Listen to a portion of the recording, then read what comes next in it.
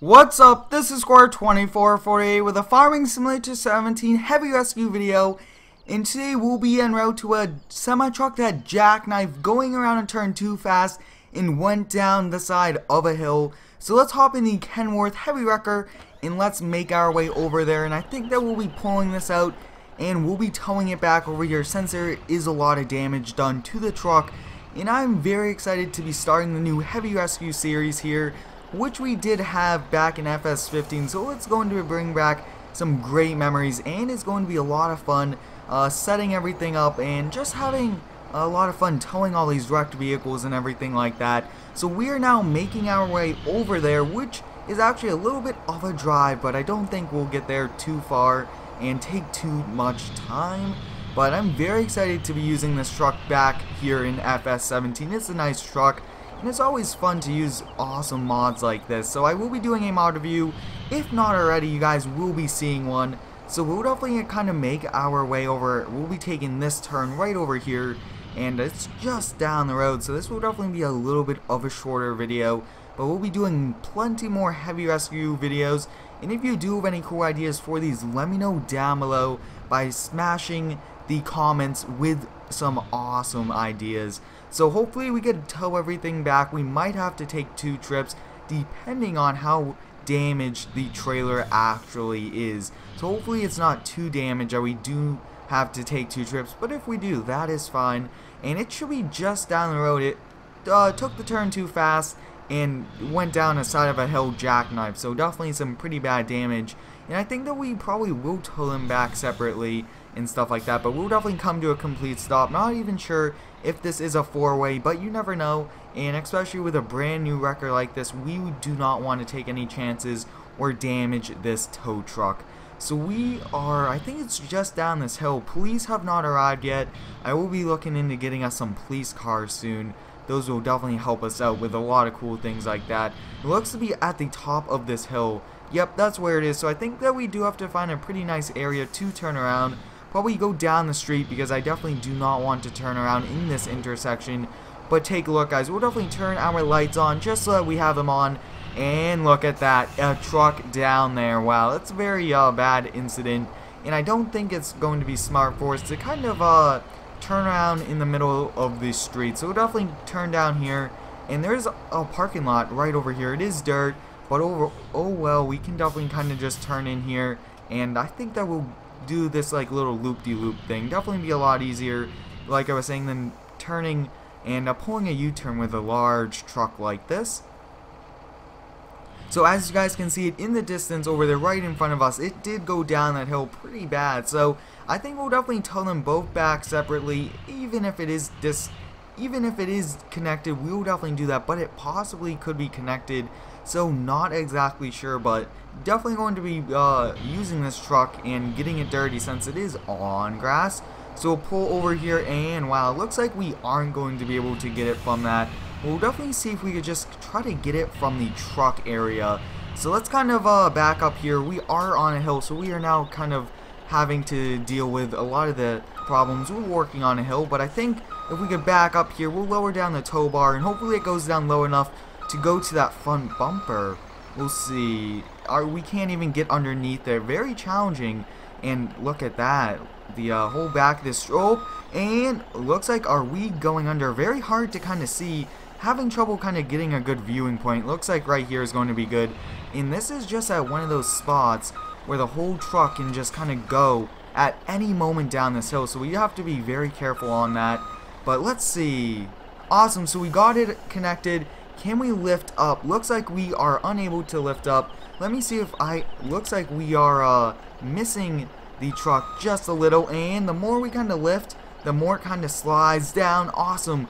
We got this. Let's see, guys. We are definitely pulling a wheelie. Uh-oh, guys. Are we going to make it? Looks like we are having problems trying to pull a wheelie.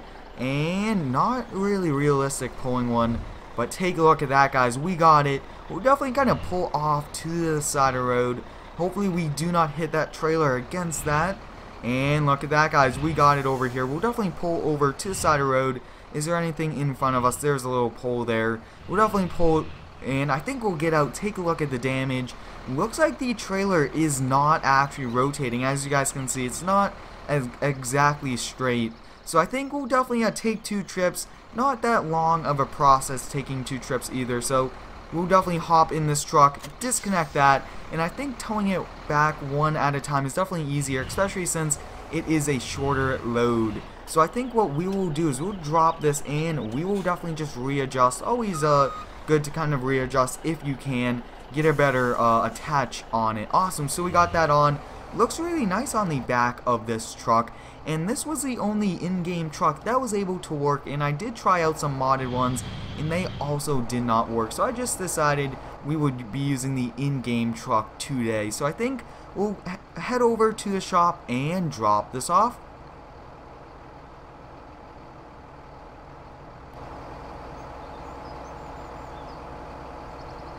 This Kenworth did a great job at pulling it up out of the hill, but it also kind of needs some work on it, and I think we might need to uh, definitely look to see if we could get some different tires for us, maybe customize these tires, something cool like that we might be doing to this truck, and maybe even changing the uh, logo. So let me know down below, guys, should we change the logos to say Square 2448 Towing? I think that that would be very cool to do just to kind of put our name all over this, even reskin this, but I kind of like it in this large, big red tow truck, if you would say. But we do have our lights on, and we are definitely towing this back very easily. It's towing well, and not really having any problems with that. But it looks like some of our running board lights are on, something like that, so we might have to look into that.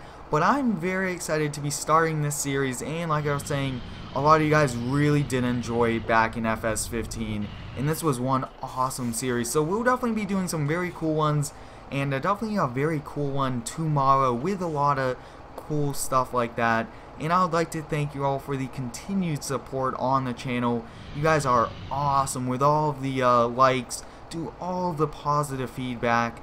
You guys really are great fans, and I do thank each and every one of you. So I think what we'll be doing is we'll be backing this in, and the owner will definitely have to tell us uh, to kind of uh, have us bring it to a repair guy because we don't really repair them at the moment. Our company is not large enough to kind of set up a repair shop yet, but I think that it will be pretty cool to repair these. So we'll definitely back up here detach that and lower it down. Take a look at that guys.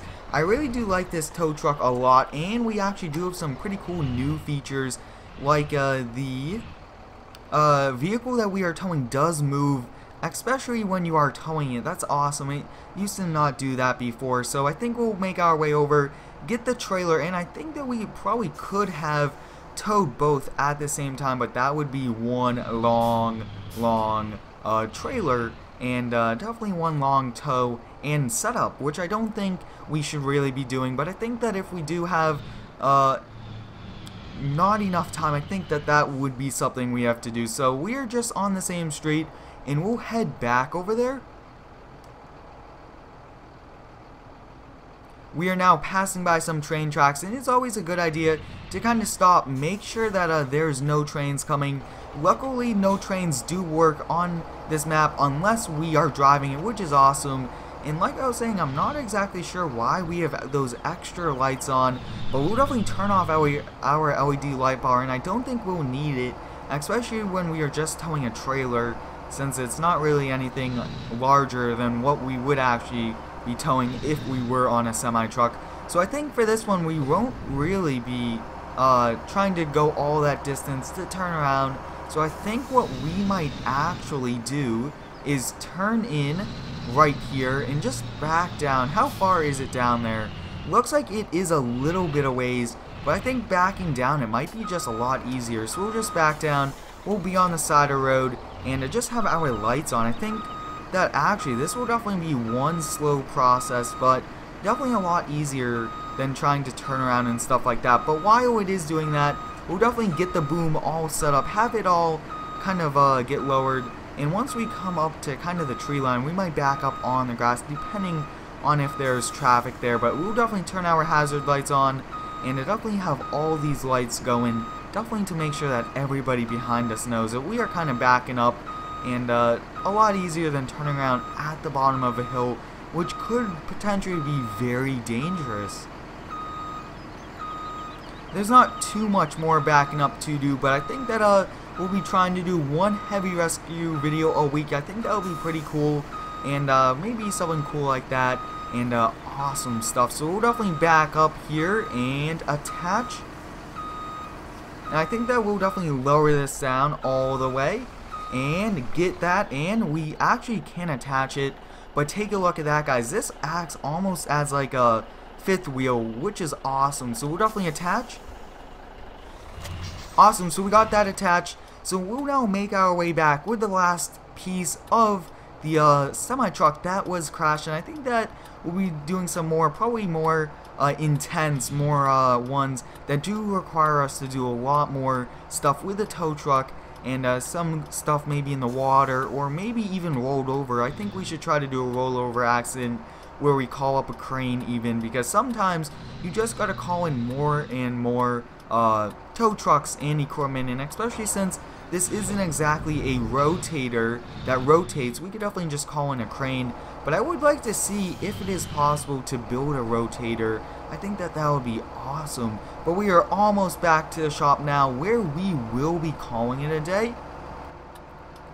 But like I was saying earlier, if you guys would like to see more, let me know down below in the comments. And also, let me know down below if you do have any cool video ideas. I'm always open to making ideas with your uh, awesome feedback and stuff like that. So we'll take one wide turn here.